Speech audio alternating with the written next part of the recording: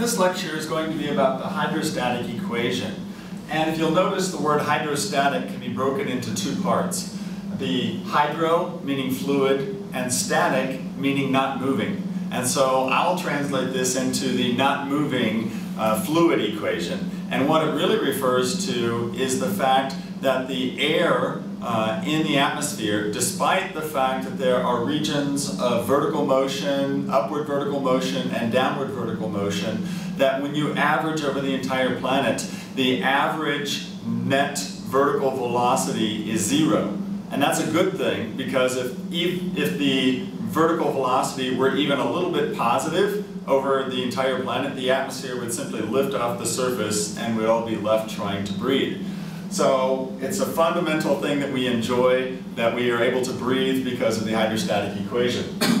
and the hydrostatic equation is, is derived from a force balance. So if you think back to physics 1, the net force on an object is equal to the sum of all of the individual forces. And if we start dealing with an air parcel, uh, in this case the shape of a slab, uh, there are two forces that are acting on this slab. We have the upward force of the pressure gradient force and the downward force of the gravity.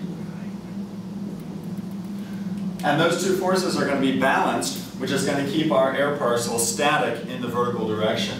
So let's take a look at the downward force of gravity first.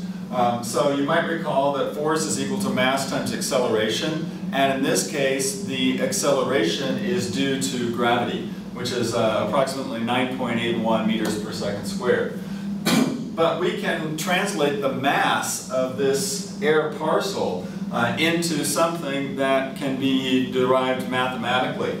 Um, so if we look at some cross-sectional area A, which is simply the uh, horizontal width times the length, um, times the uh, depth of this air parcel, dz, um, we know that the mass is equal to the density times the volume, and the volume of this little slab is just simply the cross-sectional area times the depth.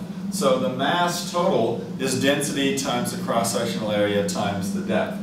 And so putting that together, we get the downward force of gravity is equal to the density of our air parcel times the cross-sectional area times the force of gravity times the depth of that air parcel.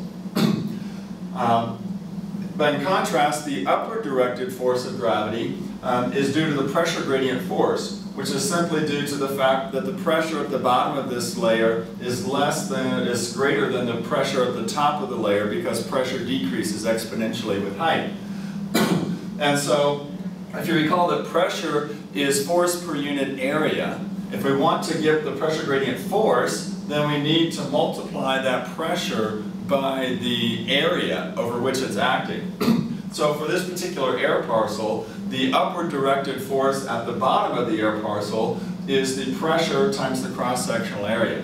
And the upward directed and the pressure gradient force at the top of that layer is the pressure minus a small increment in pressure dP times the cross-sectional area. And if you take the difference of those two forces at the top and bottom of the layer, then you'll get the upward directed pressure gradient force.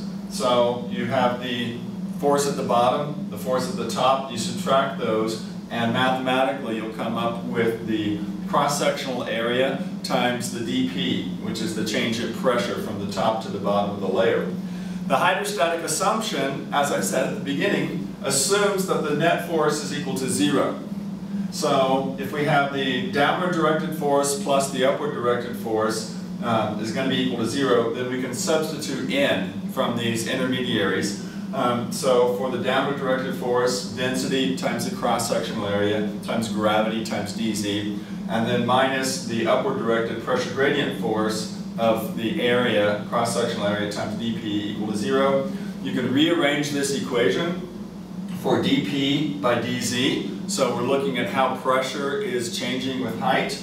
And for a hydrostatic atmosphere, the pressure will change height um, is a constant in this case, uh, minus the density of this air parcel times gravity. And this equation is extremely useful, and we will be using it in many different uh, other equations as we move along. But this is known as the hydrostatic equation.